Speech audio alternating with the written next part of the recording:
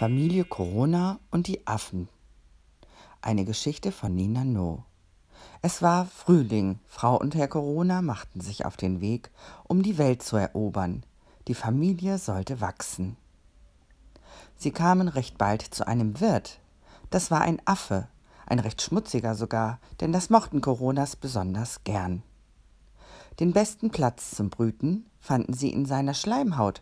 Sie begannen sofort, sich fortzupflanzen. Bald schon wurde es eng auf dem Körper. Ein zweiter Affe musste her. Und dann ein dritter, ein vierter und so weiter. Im Affenzahn waren es mehr als tausend. Immer neue Exemplare zu finden war leicht. Viele Affen wuschen sich selten oder nicht richtig. Besonders viel Spaß hatten die Coronas in den Supermärkten.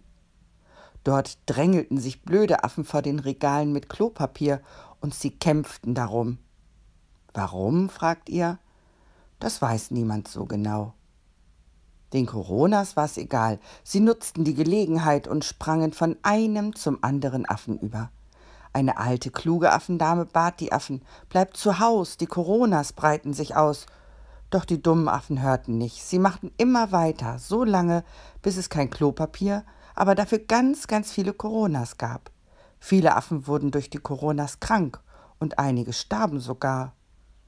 Ihr hört jetzt auf, euch zu treffen und bleibt zu Hause, befahl die kluge alte Affendame.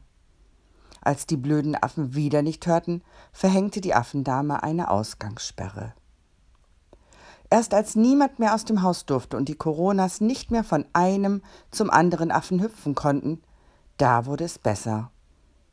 Die Affen überlebten die Corona-Pandemie und einige hatten sogar aus ihr gelernt. Und die Moral von der Geschichte? Blöde Affen hören nicht. Hamsterkäufe lohnen nicht.